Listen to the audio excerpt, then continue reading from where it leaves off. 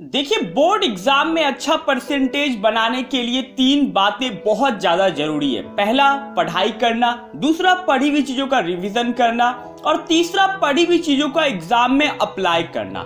लेकिन देखिए, कई बार ना स्टूडेंट्स किसी कारणवश से अच्छी पढ़ाई नहीं कर पाते, उनकी एग्ज़ाम की तैयारी उतनी अच्छी नहीं हो पाती है। और ये बात तय है कि अगर आपकी एग्ज़ाम की तैयारी अच्छी नहीं होगी तो आपका एग्ज़ाम भी अच्छा नहीं जाएगा।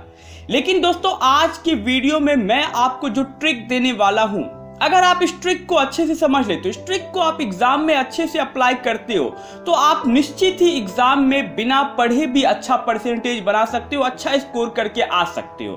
तो आप तो आप सभी के मन में अब ये सवाल ज़रूर आ रहा होगा कि यार ये आखिर ऐसी कौन सी ट्रिक है जो हमें बिना पढ़े भी एग्ज़ाम में अच्छा परसेंटेज दिला सकती है? तो इसके लिए आपको ये वीडियो पूरा देखना होगा दोस्तों। तो आइए अब बगैर समय को बर्बाद किए शुरू करते हैं वीडियो को। तो उस टेक्निक का नाम है आंसर फ्रेमिंग टेक्निक। जी हाँ दोस्तों, आप आंसर फ्रेमिंग टेक्निक का यूज़ करके आप किसी भी क्वेश्चन का आंसर लिख सकते हो। चाहे वो क्वेश्चन कितना भी टफ हो, कितना भी इजी हो, कितना भी हार्ड क्यों ना हो दोस्तों, आप आंसर फ्रेमिंग टेक्निक का यूज़ करके आप किसी भी आंसर को लिख सकते हो। किसी भी क्वेश्चन के आंसर को लिख सकते हो। तो आइए आप समझते हैं कि आंसर फ्रेमिंग टेक्निक क्या है। देखिए दोस्तों दोस्तों आंसर फ्रेमिंग टेक्निक होता है कि क्वेश्चन के अकॉर्डिंग ही आंसर को फ्रेम करना आंसर को बनाना आंसर को लिखना।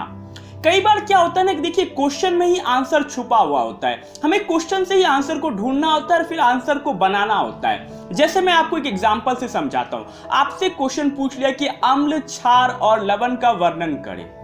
तो आप जानते हो कि अम्ल क्या होता है? आपको इस तरह से लिखना है कि अम्ल वह पदार्थ है जो स्वाद में खट्टा होता है। और आपको कुछ अम्ल के नाम डाल देने हैं जैसे एच या सल्फ्यूरिक एसिड।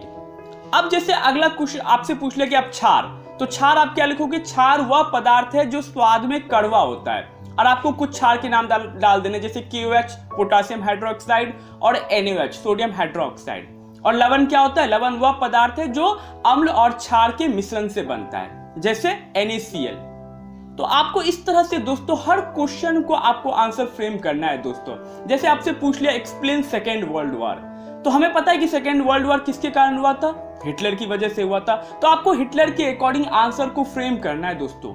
आपको हिटलर के अकॉर्डिंग आंसर लिखना है कि हिटलर ने इस पर आक्रमण किया हिटलर ने उस पर आक्रमण किया, इस तरह से डूटिया विश्व युद्ध स्टार्ट हुआ। तो आपको इस तरह से हर क्वेश्चन में ना दोस्तों, आपको आंसर को फ्रेम करना है। आपको हर क्वेश्चन में कोई ना कोई कीवर्ड ढूंढना है और इस कीवर्ड के अकॉर्डिंग अपने आंसर को फ्रेम करना है दोस्तों। जैसे द्वितीय विश्व में कीवर्ड क्या था? हिटलर तो हिटलर के अकॉर्डिंग आपने आंसर को पूरा बनाया आंसर को फ्रेम किया। तो इसी तरह हर क्वेश्चन में दोस्तों कोई ना कोई कीवर्ड छुपा होता है, आपको कीवर्ड को पकड़ना है, उसके बाद आपको आंसर को फ्रेम करना है। इसी तरह से दोस्तों आप जो क्वेश्चन आपको जरान भी नहीं आ रहा होगा, आप उस क्वेश्चन को लिख सकते हो दोस्तों बोर्ड एग्ज़ाम में अच्छा परसेंटेज बना सकते हो। और आपको एक चीज़ ध्यान में रखनी है कि जब आप लिखो तो आपकी हैंडराइटिंग अच्छी होनी चाहिए, एकदम साफ़ साफ़ लिखो, जो लिखो वो सामने वाले को समझ में आना चाहिए दोस्तों। तभी आपको एग्ज़ाम में अच्छे मार्क्स मिलेंगे। तो दोस्तों, ये थी वो टेक्निक जो आपको दोस्तों बिना पढ़े भी एग्ज़ाम में अच्छा परसेंटेज बना के दिला सकती है। अगर जो क्वेश्चन आपको एग्ज़ाम में नहीं आ रहा तो आप आंसर फ्रेमिंग टेक्निक का यूज़ करके आंसर को आप लिख सकते हो। तो मैं उम्मीद करूँगा कि आपको वीडियो अच्छी लगी होगी। अगर आपको वीडियो अच्छी लगे तो वीडियो को लाइक ज़रूर कर देना और चैनल को प्लीज़ सब्सक्राइब कर ले और बेल आइकन को ज़रूर प्रेस कर लेना ताकि जब भी हमारी कोई अगली वीडियो आए तो उसका नोटिफिकेशन आपको जल्द से जल्द मिले।